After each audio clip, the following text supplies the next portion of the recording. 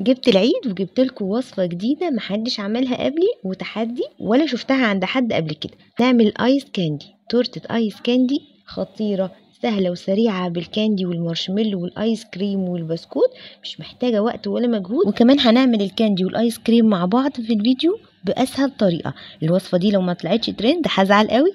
بس قبل ما أبدأ أنا اسمي إيمان. لو أول مرة تشوفوني اشتركوا في القناة. شيروا لايك لو الوصفه عجبتكم. تعالوا الأول نعمل كاندي سريع كده عبارة عن معلقة ونص من الجيلاتين معلقة ونص من السكر وعليهم كوباية إلا ربع من المية المغلية. يعني المية تبقى بتغلي وأحطها على طول على الجيلاتين علشان ما يكونش في أي تكتلات وأحط عليهم باكو من الجيلي أنا حطيت جيلي فراولة تقدروا طبعا تختاروا أي طعم تحبوه. بعد ما بقلبهم كويس هجيب بقى علبة وأحط عليها كيسة. ممكن كمان آه لو عندكم القوالب السيليكون بتاعة الكاندي أو الشوكولاتة ممكن تستخدموها. المهم إن أنا صفيتها علشان يكون صافي ما يكونش فيه أي تكتلات. وهدخله بقى على الفريزر ساعتين كده علشان يشد. ولو انت عندك وقت حطيه في التلاجة وبيتيه ليلة كاملة أو لحد ما يشد معاكي. تاني حاجة هحضرها الآيس كريم وده سهل جدا بثلاث مكونات بس. عملته معاكم كتير نص كوباية من الكريم شانتيه البودرة وربع كوباية من الحليب المحلى المكثف. مع بعض أكتر من مرة لو عايزين طريقته اكتبوا في التعليقات. وحطيت عليهم كمان نص كوباية من المية الساقعة المتلجة أو الحليب لو حابين وباكت فانيليا وهضربهم بقى كويس جدا مع بعض لحد ما نبقى بالقوام. شايفين المنقار ده متماسك ما يكونش سايل قوي بقى معايا آيس كريم فانيليا لذيذ جدا وطعمه حلو قوي وكمان سهل.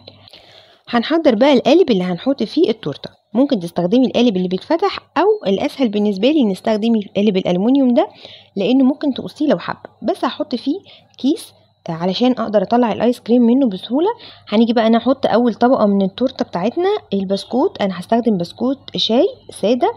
هعمل أول طبقة كده واحط عليها شوية من الحليب. المفروض إن أنا بغمس البسكوت في الحليب اللي هي أول طبقة بس بس يعني لانهم كمية صغيرة فأنا حطيت كده معلقتين حليب عليهم وبعد كده هحط الطبقة التانية. أنا بعمل الخطوة دي علشان لما أحط الطبقة التانية البسكوت يمسك مع بعضه ويبقى طبقة عريضة. الطبقه التانية بقى من البسكوت مش هحط عليها آآ آآ لبن ولا حاجة علشان تفضل كده إيه مقرمشة وبعد كده هحط تقريبا نص كمية الآيس كريم أو أقل من النص بشوية يعني طبقة كده من الآيس كريم وهفردها كويس وهنطلع بقى الكاندي من التلاجة وهتشوفوا شكله عامل إزاي. أول ما تلاقي الكاندي بقى متماسك معاكي وتقدري ترفعيه من على الكيسة بسهولة هبدأ بقى أقطعه. بأي قطاعه عندكم أنا عندي قطاعه على شكل قلب أو نجمة أو وردة ابتديت أعمل بيها الأشكال دي. بصوا شكله تحفة. ولو حتى ما عندكوش قطاعات تقدروا تقطعوه بالسكينة كده على شكل مربعات أو حتى بشكل عشوائي. أنا عملت شوية النجوم والورد دول هحطهم صف كده ورا بعض وهسيب كام واحدة أزين بيهم في الآخر.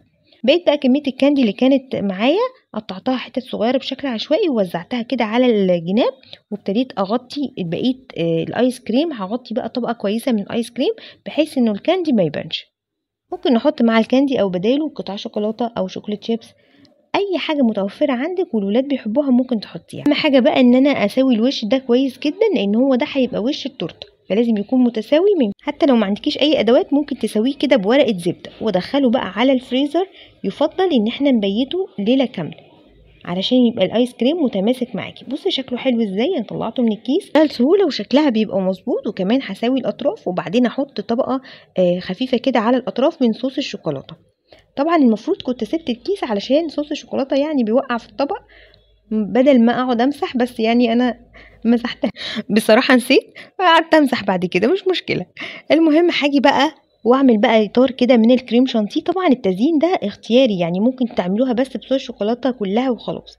أنا حبيت بس أعمل طبقة كده من الكريم شانتيه علشان يبقى شكلها زي التورتة وبقيت بقى ال candy اللي أنا كنت مقطعاها وشايلاها عندي على جنب وابتديت بقى أرص واحدة من ال candy وواحدة من ال marshmallow. ال marshmallow ده أنا كنت عاملاه معاكم الفيديو اللي فات بكوباية سكر وبطريقة سهلة جدا وبسيطة وكمان كنت مقطعاه بنفس القطعات اللي هي القلوب والنجوم مع ال candy شكلهم كان حلو جدا مع بعض.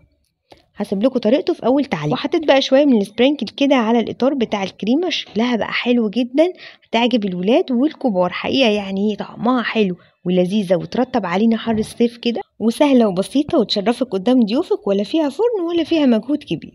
جربوها بقى وقولوا لي رأيكم في التعليقات. أشوفكم الفيديو اللي جاي. وبالهنا والشفا.